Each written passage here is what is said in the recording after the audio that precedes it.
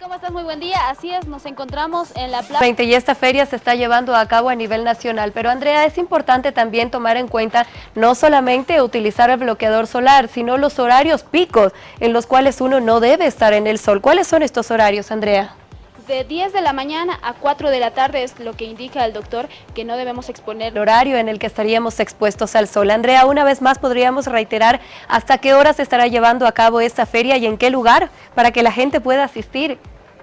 Claro que sí, te muestro, este es el panorama. Hay que destacar la importancia que se está llevando a cabo de este trabajo conjunto y de igual manera, una vez que los estudiantes regresen a las labores educativas, también estarán aprendiendo sobre los cuidados y la prevención en cuanto a diferentes temas de salud.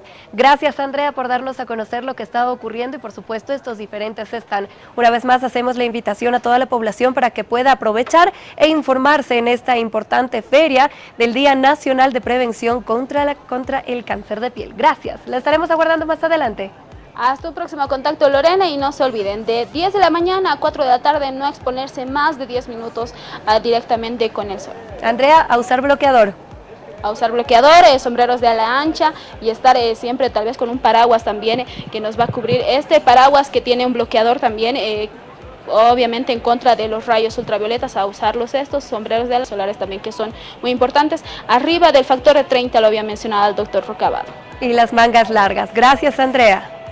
Bien, hasta un próximo contacto más adelante desde otro punto de la ciudad de La Paz, Lorena. Claro que sí, le estaremos aguardando más adelante con la finalidad de continuar informando lo que está ocurriendo desde la sede de gobierno. Pero cuando son las 10 de la mañana con 30 minutos en todo el territorio nacional, es momento de abordar información en el ámbito deportivo. Amigos, es momento de recordar que nos puede seguir y puede mantenerse informado a través de nuestras redes sociales. Estamos en directo a rápido, no lo dude más y sea un usuario más de Entel. Cuando son las 11 de la mañana con 18 minutos es momento de hacer una breve pausa. Guárdenos que ya regresamos para establecer contacto con nuestra unidad móvil desde la terminal de buses. Estaremos conociendo si es que existen salidas hacia el interior del país. Andrea.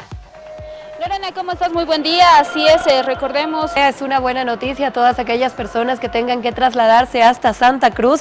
Ya se está habilitando las salidas hacia el interior del país y hay que tomar en cuenta que varios de estos pasajeros han tenido que pasar la noche en la terminal de buses en la ciudad de La Paz, soportando las bajas temperaturas además. Sin duda fueron diferentes eh, denuncias también que vinieron acá a la terminal de bus. Con los pasajeros que estarían a la espera de poder abordar el bus rumbo a Santa Cruz. Voy a tratar de acercarme a algunos pasajeros, no sabemos con exactitud. Ya existen salidas desde la terminal de buses en la ciudad de La Paz hacia el interior del país. Gracias, Andrea. Hasta un próximo contacto y les vamos a estar informando más de lo que vaya a ocurrir. Claro que sí, que tenga un buen día. Estas han sido las informaciones actualizadas a esta hora de la mañana desde la terminal de buses en la ciudad de La Paz. Es momento de separarnos unos minutos. Ya regresamos con más información. Continúen con nuestra programación.